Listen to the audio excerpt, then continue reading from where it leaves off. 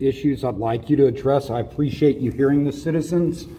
Uh, you have some serious issues with your security procedures uh, as well as your security officers' actions. Uh, there's some policy issues that need to be brought to your attention. Uh, one is that your officers uh, have all stated that they believe it is their duty to tell people filming in public that they need to get written permission to do that. That is not your policy.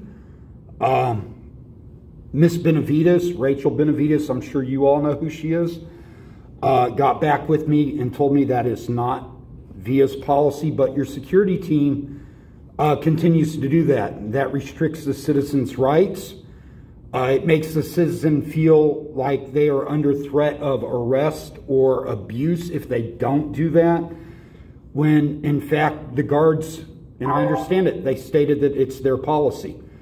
But it's not VIA's policy, so how did it become the guards' policy to do that? Um, you have multiple officers who've done that.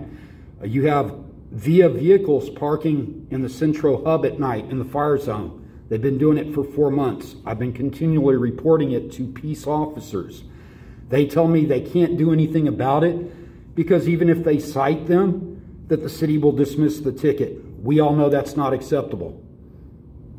Something needs to be done about it. That's why I'm here. If security won't do anything about your vehicles parking in fire lanes, I'm sure my voice here will get back down to vehicle maintenance, and that is at the 123 uh, Medina Hub. And again, it happens every night. And when I addressed your employee, he flipped me the bird and then went and complained to your security officers and asked them to throw me off the property.